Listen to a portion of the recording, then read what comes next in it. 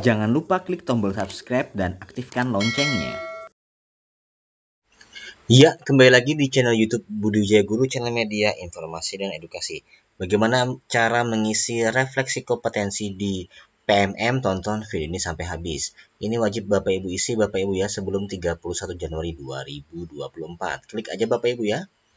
Nah, di sini lalu muncul nah di sini jelas, mulai refleksi dan dapatkan hasil capaian Anda sebelum 31 Januari 2024. Nah, seperti itu Bapak Ibu ya. Kebetulan uh, saya sudah mengisi. Nah, jika Bapak Ibu sudah mengisi itu uh, di sini ada selamat level lebih tinggi, selamat level lebih tinggi, selamat level lebih tinggi, selamat level lebih tinggi. Ot kalau bisa Bapak Ibu poinnya tuh di atas uh, 4 ya, 5, 5 ke atas segitu Bapak Ibu ya. Jangan sampai 1 2 Nah, ini berarti insya Allah aman Bapak Ibu ya. Nah, kita misalkan klik mulai. Nah, nanti di situ tertulis refleksi kompetensi belum berdampak langsung ke pangkat atau jenjang profesi dan rapor pendidikan. Pastikan refleksi terkumpul sebelum 31 Januari 2024. Nah, di sini saya sudah selesai mengerjakannya Bapak Ibu ya, selesai, selesai, selesai. Nah, Bapak Ibu harus mengerjakan satu persatu dari pedagogi, kepribadian, sosial, dan profesional. Ingat Bapak Ibu, mengerjakannya harus berurutan ya.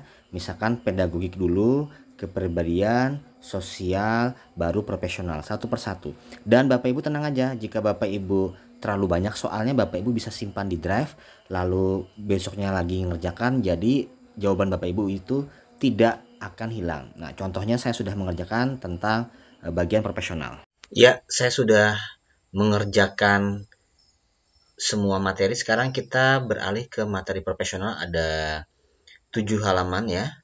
Ini halaman ketujuh. Jadi memang banyak soalnya Bapak Ibu ya. Kita lihat di sini. Ya ada banyak soalnya. Paling banyak yang profesional juga sama yang pertama tadi itu Bapak Ibu ya. Ada tujuh halaman. Tapi Bapak Ibu tenang aja.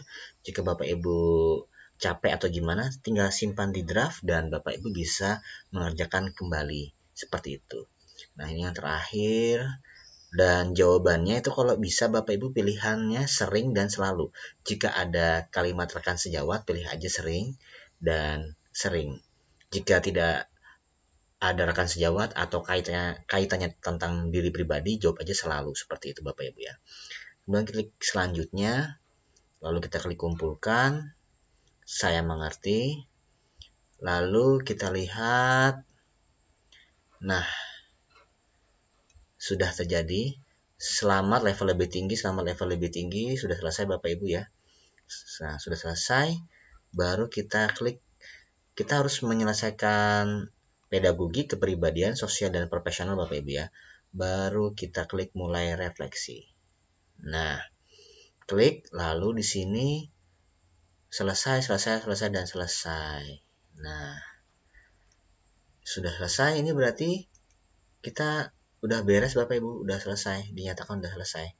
Karena dari pedagogi, kepribadian, sosial dan profesional sudah kita isi. Mungkin itu saja Bapak Ibu. Jika ada pertanyaan bisa tulis di kolom komentar. Terima kasih.